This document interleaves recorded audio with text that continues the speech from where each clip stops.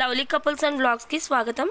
ఈరోజు వీడియోలో నేను పెసర వడియాలు అంటే పెసరపప్పుతో వడియాలు ఎలా పెట్టుకోవాలో చూపించబోతున్నాను. చూసేయండి. ముందుగా మనం ఒక కప్పు పెసరపప్పును తీసుకుని నీళ్ళు పోసుకుని రెండు గంటల సేపు నానబెట్టాలండి. అవి నానిన తర్వాత అందులో ఉన్న నీళ్ళు అనేది తీసేసుకుని ఒక పక్కన పెట్టుకుందాం.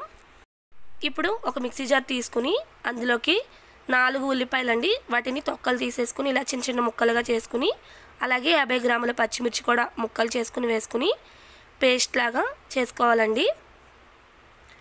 మెత్తటి పేస్ట్ లాగా ఆడుకోవాలి. ఇలా ఆడిన దాంట్లో మనం నానబెట్టుకున్న పెసరపప్పులో కొద్దిగా పెసరపప్పును వేసుకుని మళ్ళీ ఒక రౌండ్ అనేది తిప్పుకోవాలండి. గ్రైండర్ ఆన్ చేసుకుని నానబెట్టుకున్న పెసరపప్పు అనేది వేసుకోవాలండి. అలాగే ఇందులోకి ముందుగా మనం సిద్ధం చేసి పెట్టుకున్న ఉల్లిపాయ పచ్చిమిర్చి పేస్ట్ ఉంది కదండి దాన్ని కూడా వేసేసుకోవాలి. ఇలా వేసుకుని ఇది మెత్తటి పిండిలాగా అయ్యేదాకా మనం దీన్ని ఆడుకోవాలండి. ఇందులోకి మనం ఒక స్పూన్ జీలకర్ర అనేది కూడా వేయాలి. గ్రైండర్లో ఆడుకుంటేనే మనకి వడియాలు అనేది బాగుంటాయి అన్నమాట మిక్సీ జార్లో అయితే కొంచెం గట్టితనం అనేది వస్తుంది. ఇందులో జీలకర్ర యాడ్ చేసాం కదండి. అలాగే సరిపడా అంత ఉప్పు కూడా వేసుకోవాలండి. వేసుకుని దీన్ని బాగా ఆడుకోవాలి. ఇప్పుడు ఈ వీడియోలో చూపిస్తున్న విధంగా మెత్తగా ఆడుకుంటే సరిపోతుందండి. ఇది మెత్తగా ఆడుకున్న తర్వాత దీన్ని మనం ఒక గిన్నెలోకి తీసేసుకుందాం. మనం ఈ వడియాలు అనేది చాలా త్వరగా పెట్టుకోవాలండి. ఇలా గ్రైండర్లోంచి తీసుకున్న వెంటనే పెట్టేసుకోవాలి.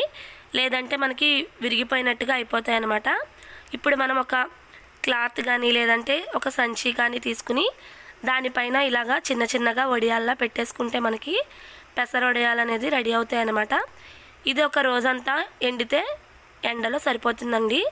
ఇలా ఎండిన తర్వాత సాయంత్రానికల్లా మనకి ఇలాగా వడియాలు అనేది సిద్ధమైపోతాయి అన్నమాట వీటిని మనం నూనె వేడి చేసుకుని అందులో వేయించుకుని తింటే మనకి చాలా టేస్టీగా ఉంటాయండి.